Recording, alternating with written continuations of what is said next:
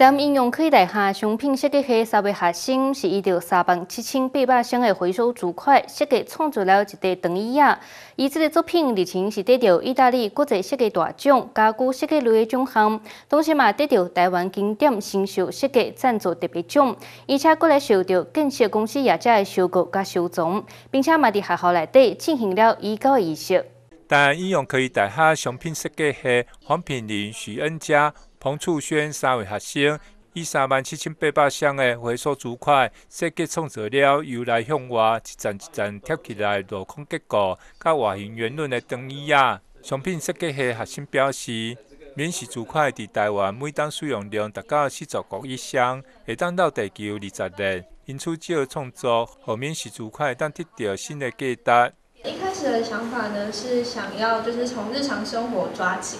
然后我们第一眼就是看到说，我们的免洗筷其实是一个蛮呃，大家都是有点忽略掉这个问题。那它其实是一个很微小的的垃圾。那它其实呃，如果日积月累的话，它其实会让大家造成一些不太好的危害。那它其实是没有办法当做燃烧使用，它只能就是掩埋。那燃烧的话，它会产生一些空气的污染。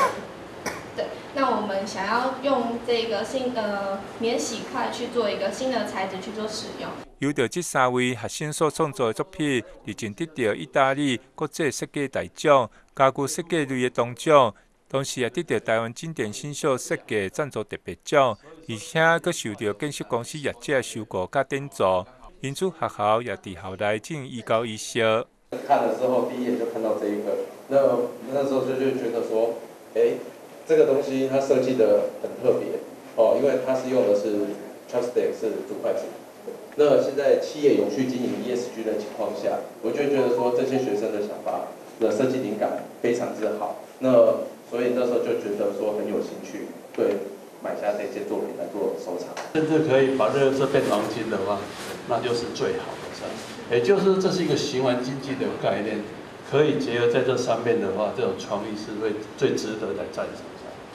然后今天这样子活动，我们就不得不配合叶总的眼光上，愿意收藏我们的学生的作品。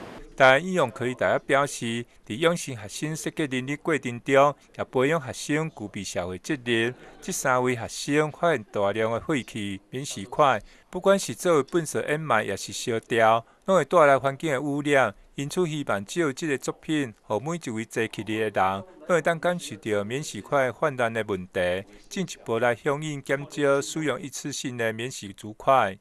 记者肖建伟因空区参报道。